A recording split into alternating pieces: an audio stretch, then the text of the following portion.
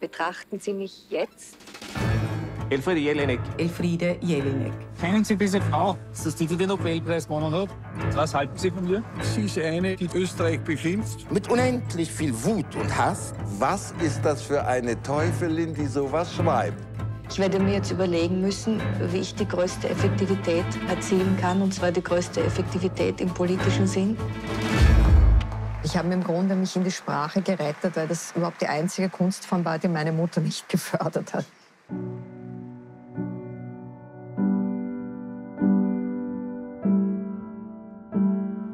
Je stärker das System dich einengt und auf dir drauf sitzt, umso stärker ist auch die Explosion.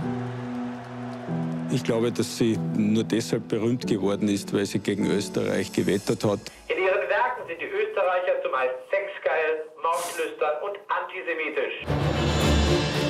Das ist eine schöne Landschaft. Hier haben alle etwas erreicht, die fleißig waren. Ich zeige ja meine Figur nicht als Handelnde, sondern als ausgelieferte Zombies, die so handeln, wie sie handeln müssen. Sehe es als meine Aufgabe, diese Alltagsdinge, auch die Politik, auf ein literarisches Podest zu stellen, dass man sie sieht.